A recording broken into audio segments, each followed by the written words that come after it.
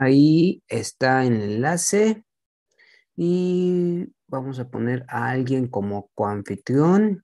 Daira, voy a ponerla como coanfitriona y a Marcos voy a ponerlo como coanfitrión. Listo, entonces ahora sí ya podemos empezar la clase. Creo que todo está bien. Este ya, ahora sí empecemos la, la clase. Ahí está. Y pues nada, ahí está, todo, todo está bien.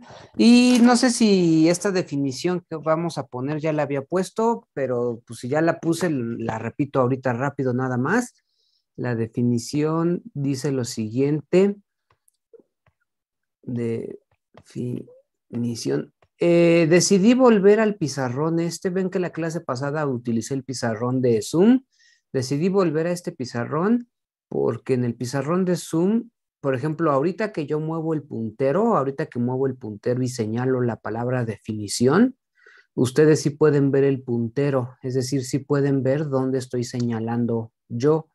En cambio, en el, en el, en el pizarrón de Zoom no se ve el puntero y entonces no se ve dónde estoy señalando y creo, al menos yo como, como profe, creo que sí es muy importante este, que ustedes puedan ver dónde estoy señalando para que puedan seguir la explicación con pues para que puedan seguir la explicación de mejor manera.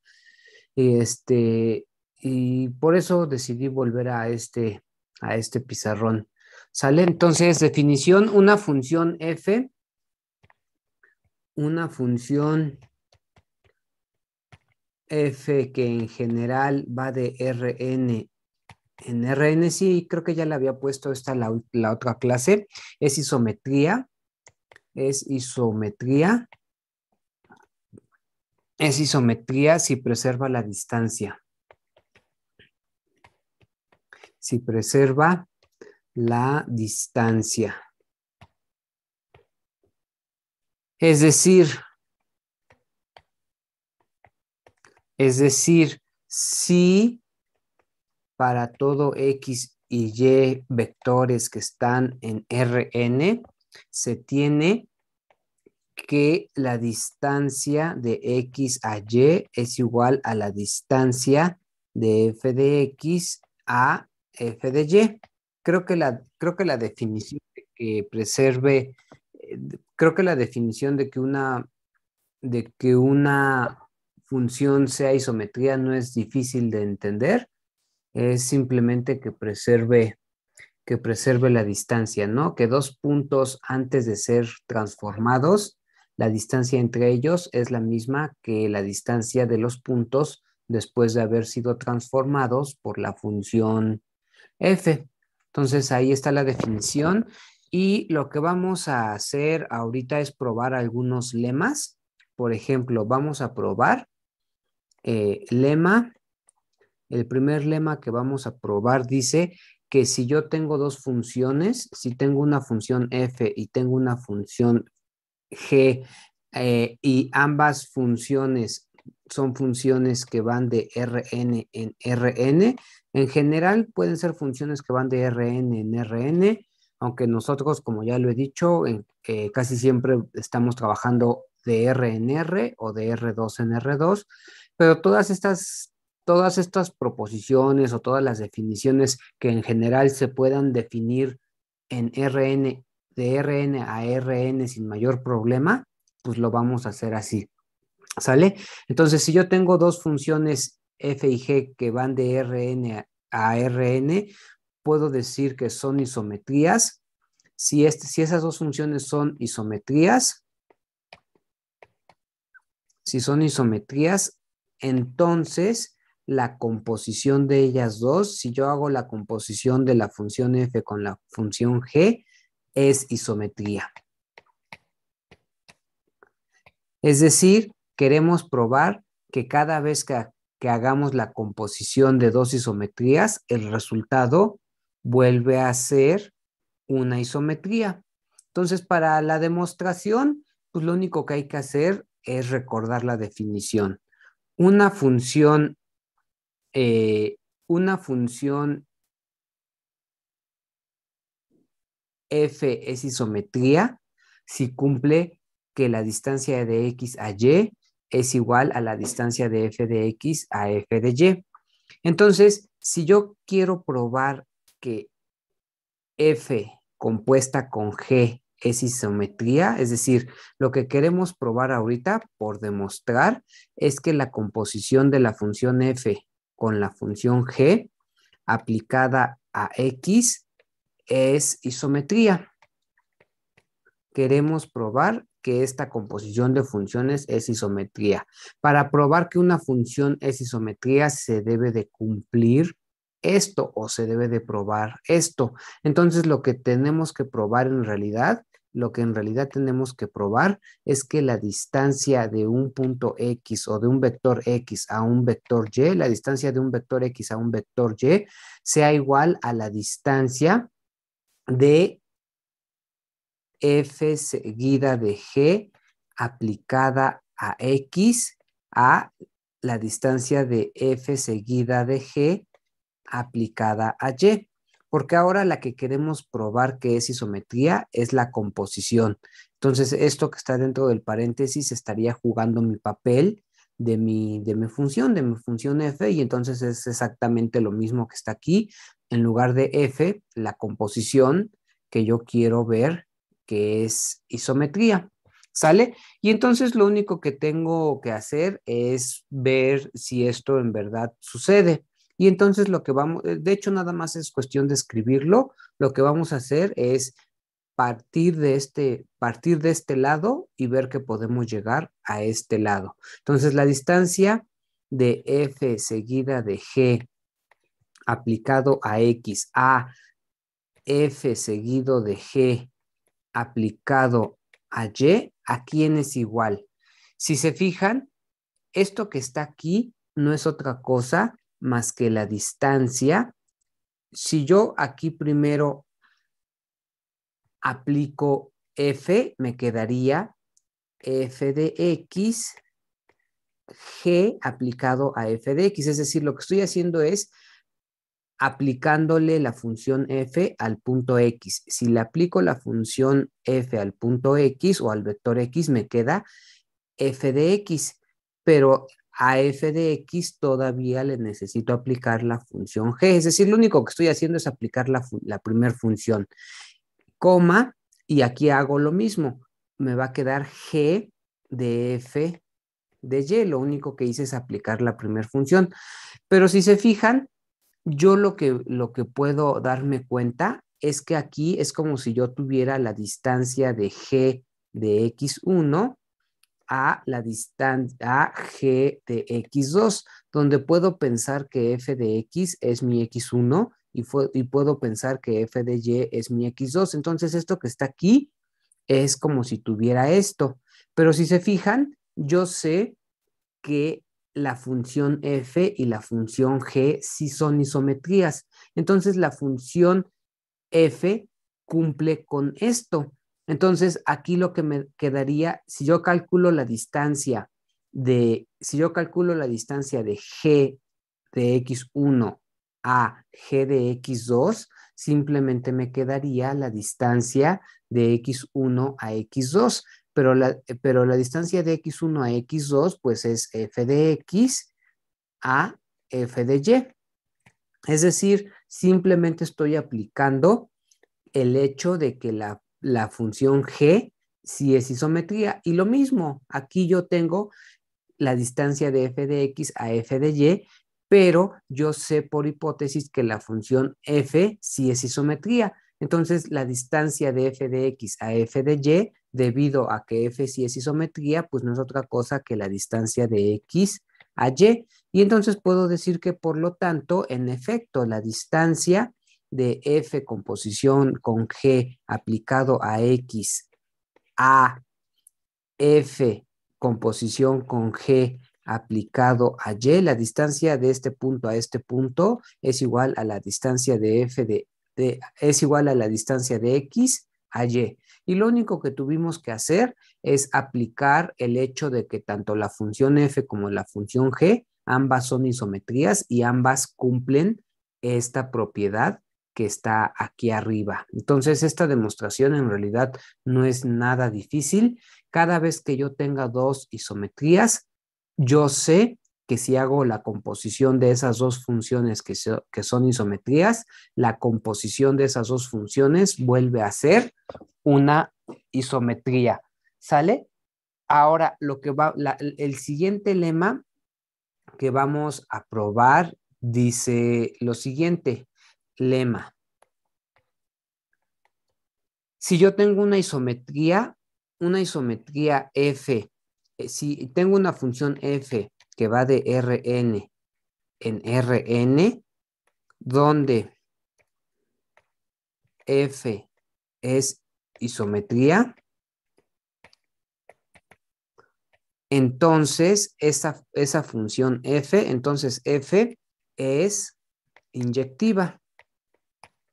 Hay que probar o vamos a probar que toda, que toda isometría es una función inyectiva. Y de hecho, esto debe de, intuitivamente debe de ser como muy claro. Debe, intuitivamente sí, es, sí debe de ser claro que una isometría es inyectiva, porque una isometría, como hemos dicho, una isometría son los movimientos rígidos, es decir, las isometrías son las traslaciones, las rotaciones y las reflexiones, es decir, son transformaciones, son funciones que mueven los objetos, por decirlo así, y, son transformaciones que son funciones biyectivas, es decir, una, una isometría intuitivamente, al ser una transformación, es obviamente una función biyectiva. Y si es función biyectiva, pues entonces es obvio que tiene que ser, no sé si lo dije bien, lo repito, una, una isometría al ser una transformación biyectiva, es obvio que en particular tiene que ser inyectiva. Es decir, intuitivamente debe de ser claro que esta función f tiene que ser inyectiva, pero más allá de que sea obvio o de que intuitivamente sea claro, lo que vamos a hacer ahorita es probarlo de manera más, más rigurosa, más formal. ¿Sale? Entonces, lo mismo, la demostración es sencilla en realidad. E, en, general, por ejemplo, cuando estamos en cálculo, ¿cómo probamos que una función este, es inyectiva? A partir de tener que f de x1 es igual a f de x2 y llegas a que x1 es igual a x2, ¿no? Exacto. Podemos decir en general, en general, en general, estoy, estoy escribiendo espantoso. En general, F es inyectiva, tal cual como lo acaban de decir. F es inyectiva si f de x es igual a f de y o x1 igual a... Puede, puede ser x1 y x2 o f de x e igual a f de y. Entonces, X es igual a Y. Es decir, e, en general, de esta manera se prueba que una función es inyectiva. Supones que dos elementos que están en la imagen son iguales y lo que tienes que demostrar es que los elementos que están en el dominio que van a dar a estos elementos tienen que ser también iguales. Es decir, esto es como una formulita para probar que una función f es inyectiva. Pero nosotros también podemos utilizar la noción de distancia. Si se fijan, al estar trabajando con isometrías, al estar trabajando con isometrías y el hecho de que la definición de isometrías involucra a la distancia, y lo repito, el hecho de que la definición de isometría involucra el concepto de distancia, entonces hace que al estar trabajando las isometrías sea muy conveniente trabajar lo más que, lo más que podamos con, el concepto de distancia. Y por ejemplo, nosotros, sabe, una propiedad de la distancia que nosotros ya probamos es que la distancia de un punto a otro es cero. Nosotros aquí podríamos decir, sabemos, sabemos que la distancia de un punto a otro es cero, sí y solo sí, esos puntos son iguales. ¿Sale? Entonces vamos a utilizar este hecho. Por ejemplo, supongamos, supongamos, oh, que la canción me desespera que no escriba bien el pizarrón. Supongamos que esto, que f de x es igual a f de y. El hecho de que tenga f de x igual a f de y, yo lo puedo interpretar a partir de esto que está acá. Mi, mi f de x puede jugar el papel de mi x y mi f de y puede jugar el papel de mi y. Es decir, eh, sí, dice, dice Iván, hay que tener clases presenciales para que no nos pase eso, sí, para, para que yo no me desespere con, con el pizarrón. Y en general, a mí, yo, por ejemplo, eh, sí, eh, también estoy de acuerdo que presencial sería un crimen estar dando clase de 9 a 10 en CEU. Si, si hubiera sido presencial, yo no hubiera dado clase de 9 a 10. Yo no, no, creo que al inicio del semestre, al inicio de este curso, creo que sí lo, creo que sí lo dije. Yo nunca había dado clase de 9 a 10. Este, nunca he dado clase de 9 a 10 presencial y espero no tener que dar clase nunca a esa hora porque sí, regresarse a las 10 de la noche de CU eh, no, es, no, es, no es sano. Este, y, y sí, también eh, yo escribir en el pizarrón, eh, o sea, yo escribir en este pizarrón digital y escribir en un pizarrón real, mil veces escribir en el pizarrón real. De hecho, por ejemplo, no sé si ustedes o sea, la facultad es de las pocas facultades en donde todavía hay muchos pizarrones de GIS. Este, a mí me gusta mucho dar clase en un pizarrón de GIS, a la antigüita, ahí sí yo totalmente a la antigüita con GIS y en verdad van a decir que es, van a decir que es este, muy, que soy muy, muy romántico, pero sí me gusta mucho ensuciarme las manos con GIS, me gusta sentir que sí desquité la clase cuando me quedan todas las manos llenas de gis. Este, sí siento que, que desquité la, clase. Entonces, este, Sí, sí, exacto, dice Iván. Sí, al, final de la clase, si tuviéramos clase a las 10, tendríamos que regresarnos todos juntos para que no nos apliquen la, la, chacalona. Estoy totalmente de acuerdo. Y de hecho, también no sé si les he platicado que igual, por ejemplo, yo casi siempre doy clases de 7 a 8 y de 8 a 9 eh, presencial, normal, digamos.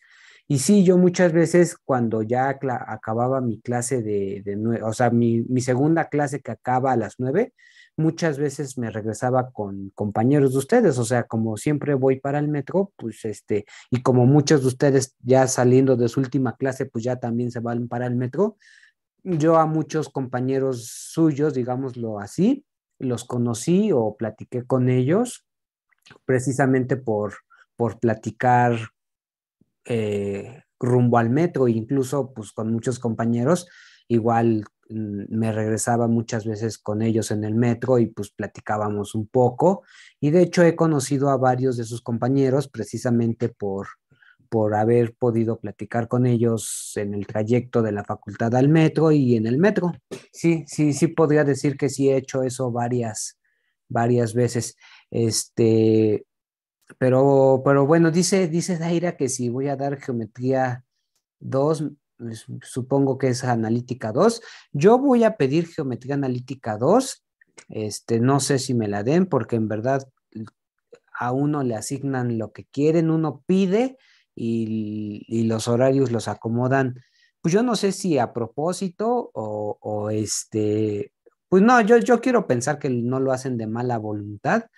Yo quiero pensar que sí es muy, que a veces sí es muy difícil tratar de armar, a veces sí es muy difícil darle gusto a todos los profesores. Sí entiendo que es difícil este, armar los horarios para las personas que los armen, pero eso se ve reflejado que muchos profesores sentimos que nos dan lo que quieren. este, y sí, ojalá y sí, ojalá y sí. porque la idea sería que pues tomen el curso completo, más allá de que lo tomen conmigo o con otra persona, lo más, lo que más les conviene es que su segundo curso de analítica pues sea continuación de este para que, para que entre otras cosas les, les sirva o les termine por servir esto que estamos, esto que estamos viendo. Pero insisto, no, no es cuestión de que, de que yo lo pida o no lo pida, yo lo voy a pedir, pero en verdad, y lo digo por experiencia, ya muchas veces me ha pasado, este, y, y, es más, hasta se me hace gacho prometerles algo porque no depende de mí, en verdad no depende de mí. Varias veces me ha, pasado que yo quiero mucho que me den el siguiente curso porque, porque tengo alumnos, digámoslo así, y no me lo dan. Este, y no me lo dan. Pero bueno, este, no nos desviemos, no nos desviemos porque si no, no vamos a terminar. Entonces, queremos probar que la función f es inyectiva. Entonces, tenemos que probar que si f de x es igual a f de y, entonces x es igual a y. Pero además, si, si partimos o si suponemos que f de x es igual a f de y, yo podría decir que entonces f de x puede tomar el, el lugar de mi x y f de y puede tomar el lugar de mi y. Y entonces, ¿qué podría decir? Aquí díganme, supongamos que f de x es igual a f de y. ¿Esto pasa sí, solo sí? ¿Qué pasa? Aquí, ¿qué escribo? Díganme, por favor. Por ejemplo, que... Sí, sí, sí. Bueno, estoy pensando que f de x menos f de y sea igual a cero, entonces... No, no, pero, pero, pero aquí e, eso que estás diciendo es correcto, pero no sería lo que más nos conviene en este momento lo que más nos conviene sería ocupar esta propiedad. Es decir, si simplemente aplicas, si simplemente aplicas esta propiedad a partir de esta igualdad, puedes pensar que esta igualdad es como esta. Entonces, si tienes esta igualdad, vas a tener esto. Entonces, si tenemos esta igualdad, vamos a tener que la distancia de f de x a f de y es igual a cero. Simplemente estamos utilizando esta propiedad. ¿Sale? ¿Se entiende? ¿Se entiende Israel? Sí, profe, sí se entiende. ¿Sale? Y, por ser isometría, ya podemos decir que la distancia de x a y es igual a cero. Exacto. Entonces, la, a, su vez, por ser isometría, yo puedo decir que lo que acá, tal cual como lo acaba de decir, creo que Iván, la distancia de f de x a f de y, ¿a quién es igual? A la distancia de x a y, pero a su vez esto está igualado a cero, eso quiere decir que la distancia de x a y es igual a cero. Y si la distancia de x a y es cero, nuevamente ocupo esta propiedad. Si la distancia de x a y es cero, eso pasa si y solo si x es igual a y. Entonces, si se fijan, ya terminamos. ¿Sale? Entonces, partimos de que f de x es igual a f de y y concluimos que X es igual a Y. Por lo tanto, F es inyectiva. Entonces, estamos viendo que efectivamente una función, estamos viendo que efectivamente una isometría en particular es inyectiva. Ahora lo que voy a decir ahorita es, digamos, importante en el sentido de que pongan atención para que no se, para que no se confundan. Lo que vamos a hacer ahorita es, vamos a dar por hecho o momentáneamente, digámoslo así. Momentáneamente quiere decir por algunas clases. Momentáneamente, entre comillas, durante algunas clases, momentáneamente daremos, por cierto, que F también, también es sobre, es decir, vamos a dar por hecho de que si f, entendiendo que f es isometría, vamos a dar por hecho que una, una isometría es una función sobre, es decir, supondremos que si f es isometría, entonces f es una función sobreyectiva o simplemente sobre. ¿Sale? Entonces, ahorita tomémoslo como algo cierto. ¿Se entiende, verdad? Sí, profe. Después, dentro de, yo creo que como dentro de una o dos semanas, con el trabajo que desarrollemos y como dentro de una o dos semanas vamos a decir, ah, con esto que acabamos de, de hacer, ya queda, ya queda demostrado eso que dimos por hecho hace unos días, o sea, esto. Es decir, nos falta más material para demostrar esto. Pero ahorita supongamos que es cierto. Entonces, si suponemos que es cierto, ¿qué llevamos? Ya tenemos que F es inyectiva y ya tendríamos que F es sobre.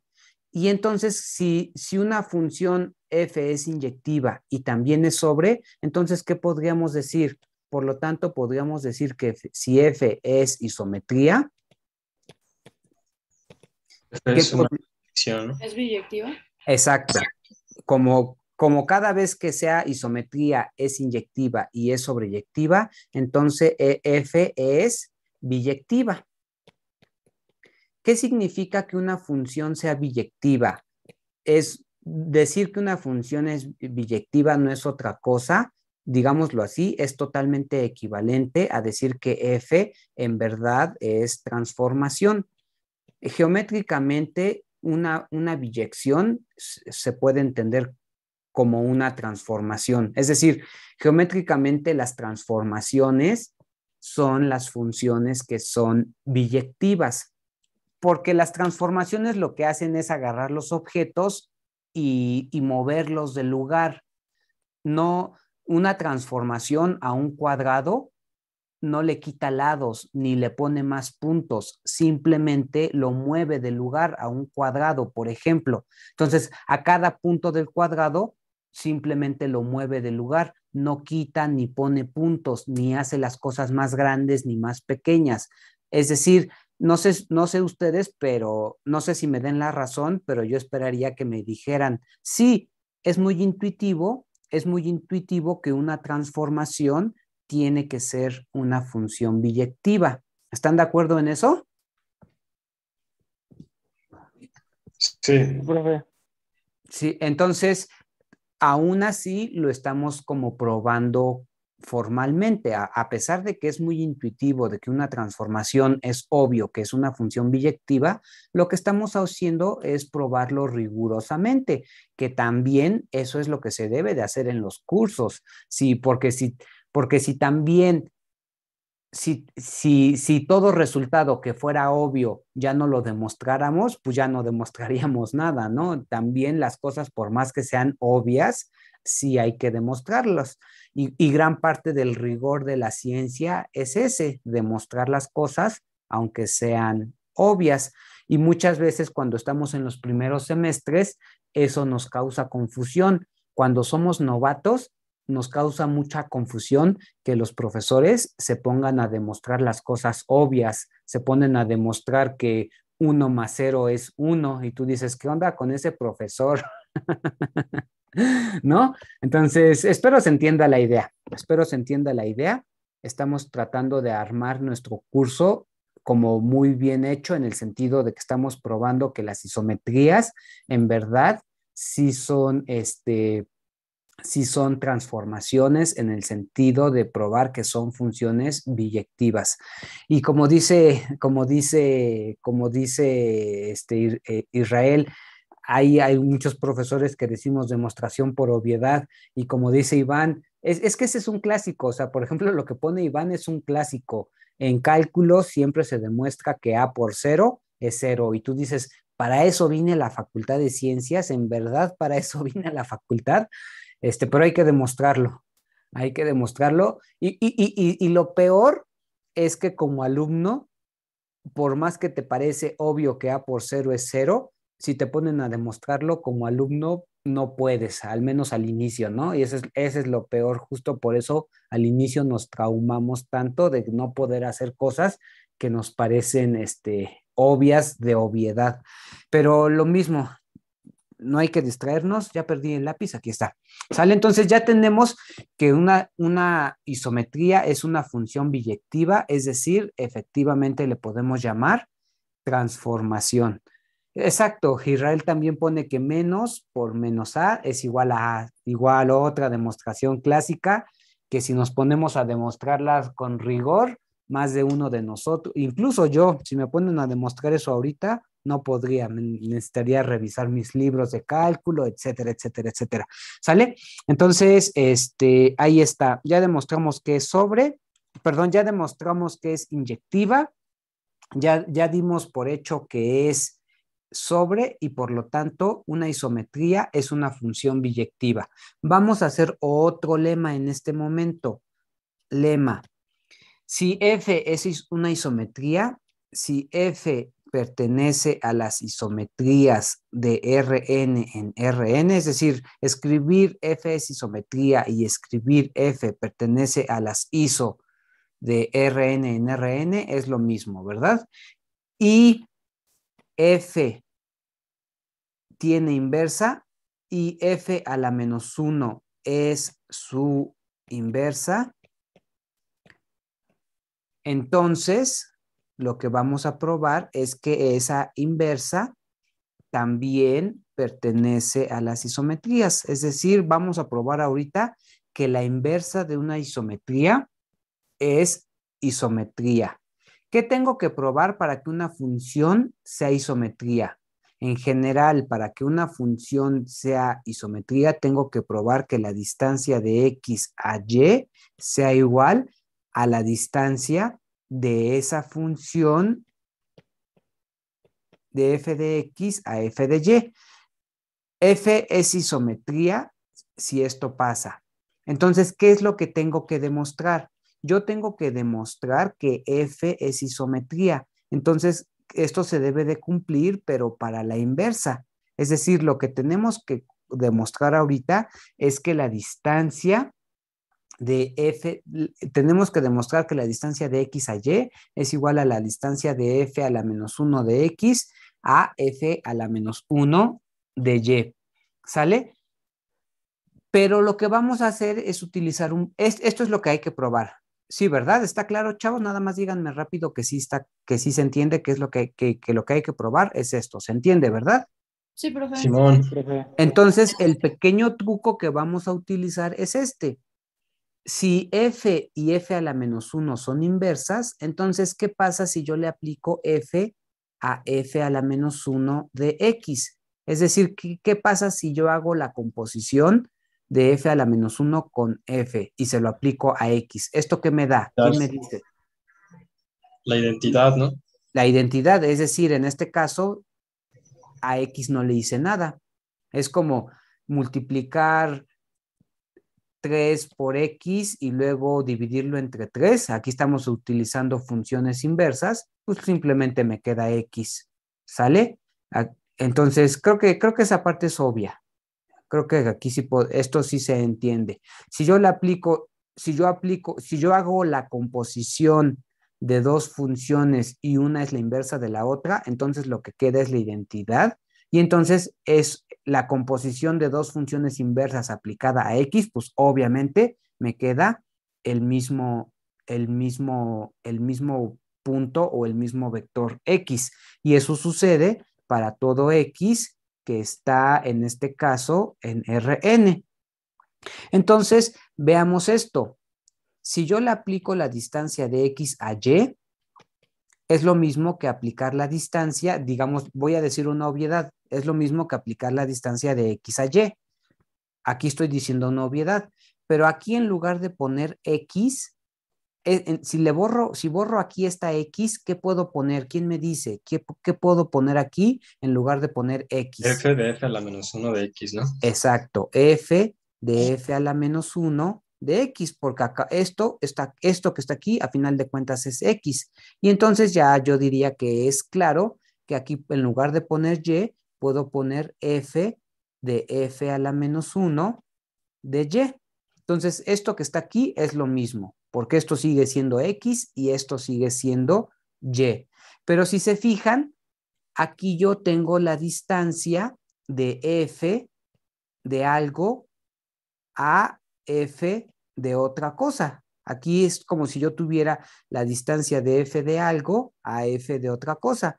Como f es isometría, entonces aquí me quedaría la distancia simplemente de lo que está aquí adentro a lo que está aquí adentro, así tal cual. Espero se entienda lo que estoy haciendo. Entonces, aquí es la distancia de f de f a la menos. Aquí, de hecho, creo que no es necesario poner este paso.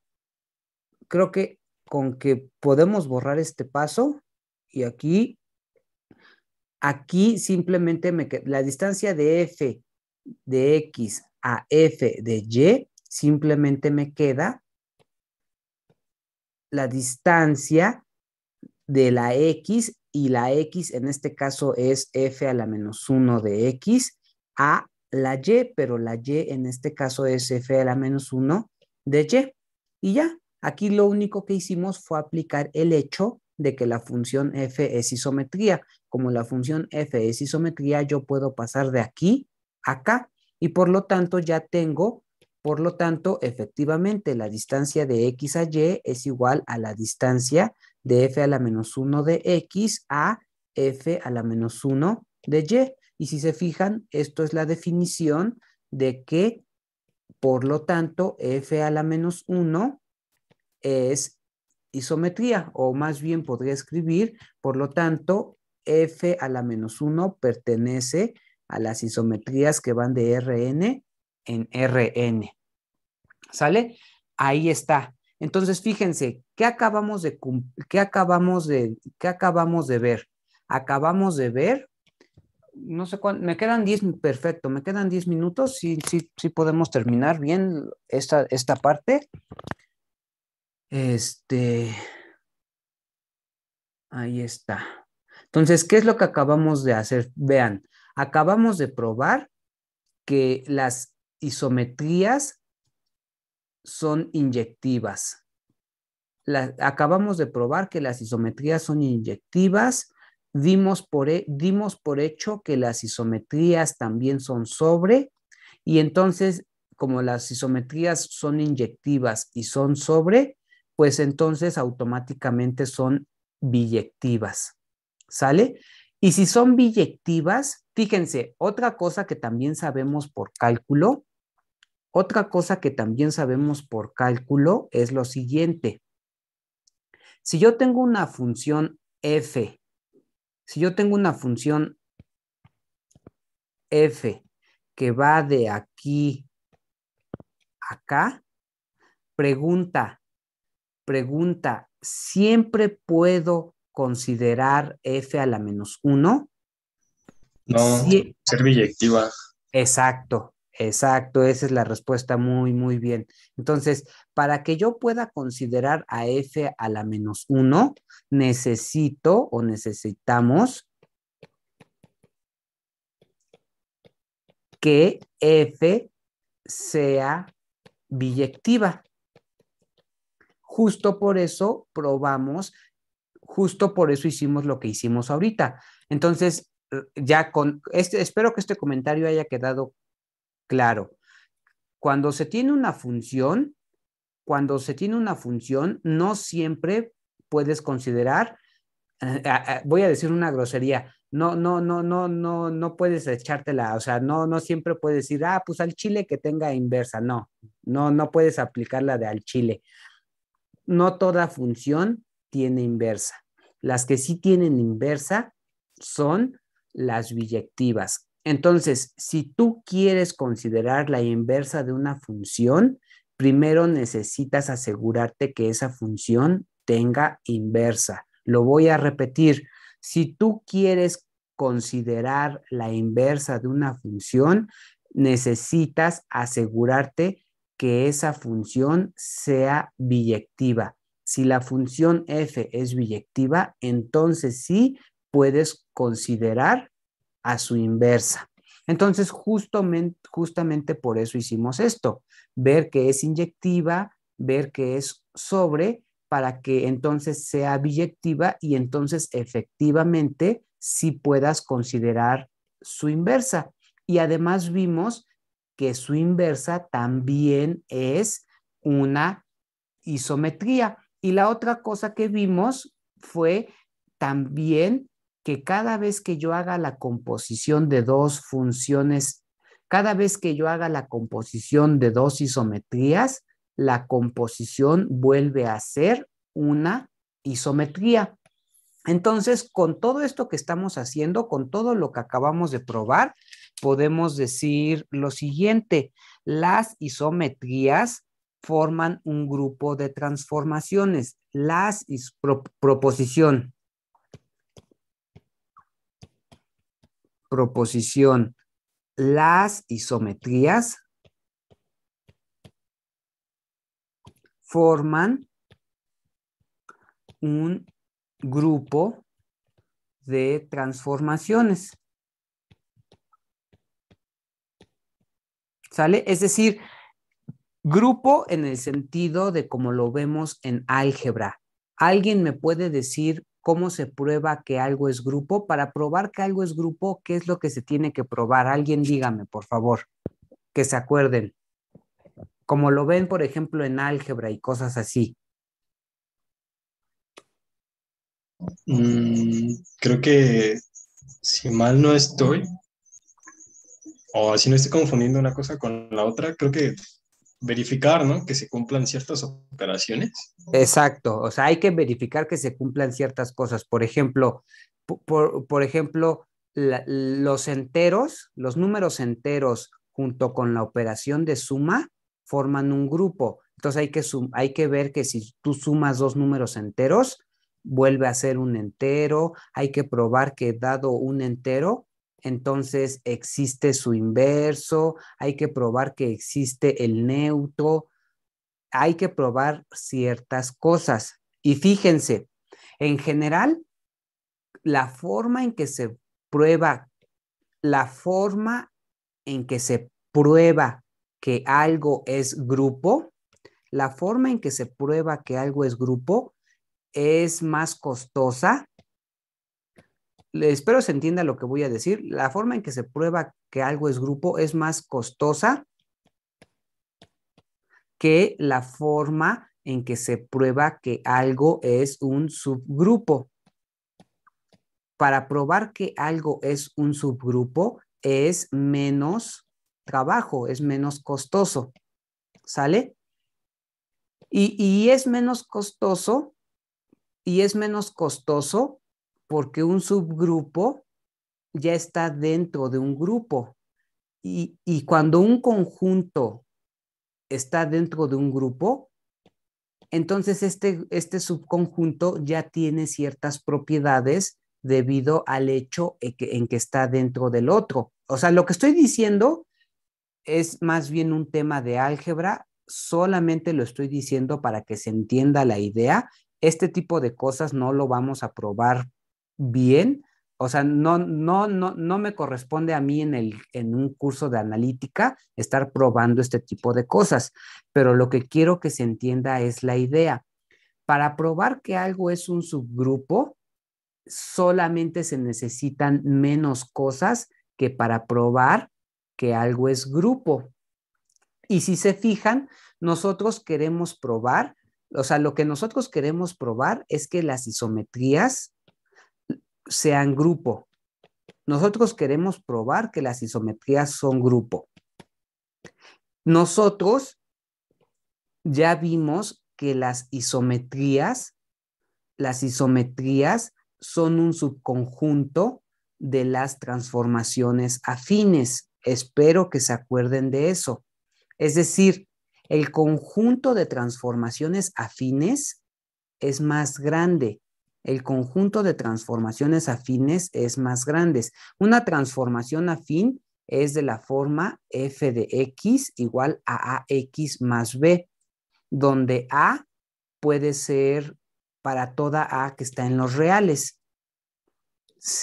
A puede ser 5, puede ser 20, A puede ser lo que sea.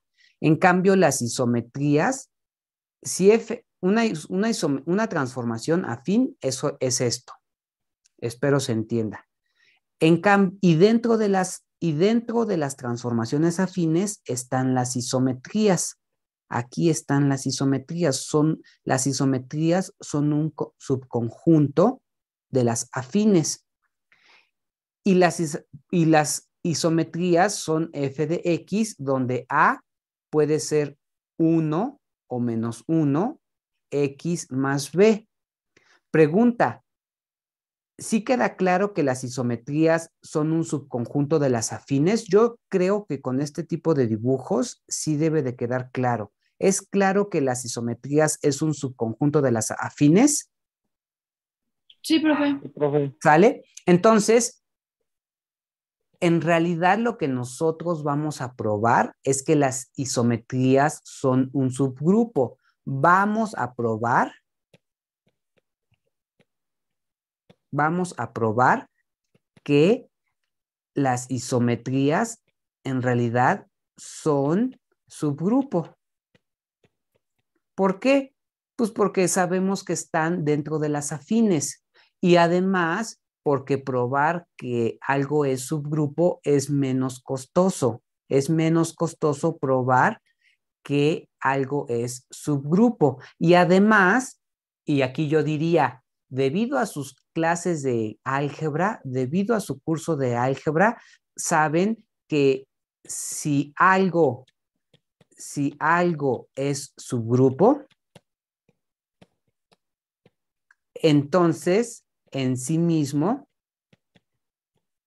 en sí mismo, ese algo ya es grupo. ¿Sí? Entonces, si un, si un conjunto es un subgrupo, en sí mismo ese subgrupo, él solito podría ser grupo. y creo que, creo que se entiende, es decir, si tú, si tú quieres probar, si tú quieres probar que esto es grupo, si tú quieres probar que esto es grupo, lo único que tienes que hacer es probar que es subgrupo. Y si tú pruebas que es subgrupo, después lo que tienes que hacer es borrar lo demás y decir, ah, como es subgrupo, entonces es grupo. ¿Sale? Todo esto solamente lo estoy mencionando para que ustedes entiendan la idea de lo que estamos haciendo, pero obviamente todas estas, todos estos resultados son resultados de álgebra, pero sí quiero que quede muy claro que nosotros en realidad lo que vamos a probar es que las cosas son subgrupos, porque todo lo que vamos a estar probando que son grupos, en realidad lo que vamos a estar probando es que son subgrupos, porque todas las cosas con las que vamos a estar trabajando, todas están de entrada dentro de las afines. Todas las cosas que vamos a estar probando de entrada son subconjuntos de las transformaciones afines. ¿Sale? Y esto lo menciono porque lo vamos a hacer varias veces. Entonces, nadie se sorprenda que varias veces lo hagamos, nadie se sorprenda que varias veces lo hagamos de la forma menos costosa. Simplemente hay que probar menos cosas. Lo único que vamos a estar probando es que la identidad está. Vamos, lo primero que vamos a hacer es probar que la identidad pertenece a las isometrías lo segundo es que vamos a probar es que la composición está, es decir, que si yo tengo una función y hago la composición, la composición pertenece a las isometrías.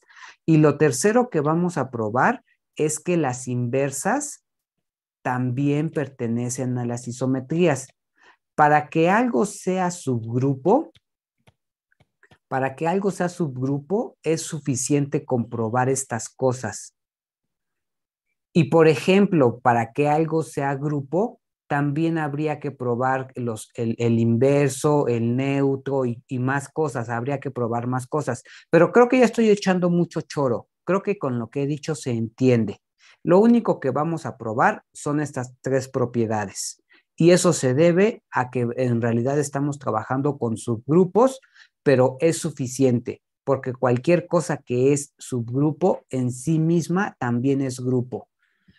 ¿Se entiende, chavos? Sí, se entiende. ¿Sale? Y, si se fijan, es lo que ya hicimos. Lo que hicimos esta clase fue probar que la composición es isometría. Y lo que hicimos en esta clase fue probar que la inversa también es isometría. Y no solamente eso, no solamente probamos que la inversa es isometría, sino que primero nos aseguramos de que esta función inversa sí la pudiéramos considerar.